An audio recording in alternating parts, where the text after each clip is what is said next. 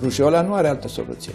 Nu avem antibiotice pentru rujeolă. Avem tratamente simptomatice, patogenice, dar cauza nu putem să o afectăm, să o atacăm, decât prin vaccinare.